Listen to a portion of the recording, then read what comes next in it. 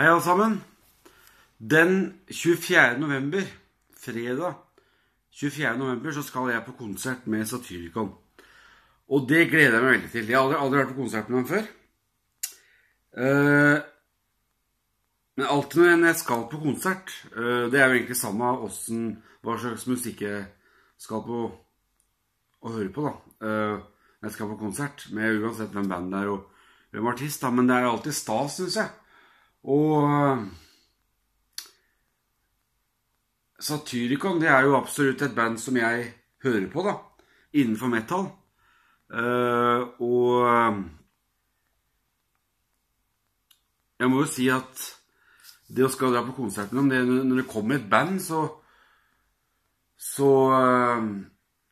Så er det alltid stas. Det er liksom den derre For det første er det hyggelig å komme seg ut òg, Det må jeg innrømme òg at det er hyggelig å komme seg ut ikke sant, og blant folk og sånn. Det, det, er det jo også. Men uh, det, er, det, er, det, er, noe med det at når du Det er noe med den stemninga når du er på konsert, ikke sant, og alle rundt deg ikke sant, er der for, for samme årsaken som, uh, som, du er, som, jeg, som, du er, der, da. Eller ja, du, eller som jeg er der, da.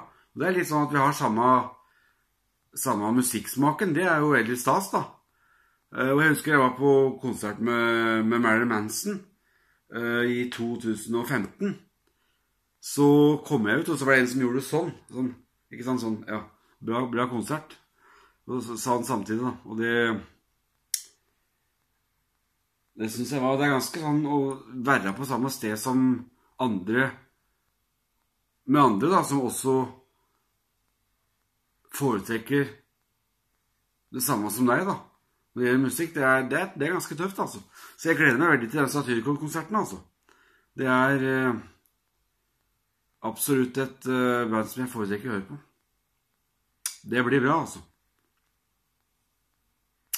Og man må jo benytte seg av anledningen, for det er ikke hver gang det hver, Eller det er ikke hver gang heller. Når, når de har jo akkurat eh, gitt ut ny plate, ikke sant? Og det er jo ikke hver gang at uh, et band som du hører på, eh, kommer til eh, hjemlandet ditt, da eh, Etter at de har gitt ut ny plate når de skal på turné, ikke sant? Det er ikke alltid, ikke sant? Så det Når det skjer, da, så må man jo benytte anledningen. Så det Ja, det blir bra. Det blir veldig bra. Takk til dere som ser denne videoen også. Eh, så snakkes vi. Ha det.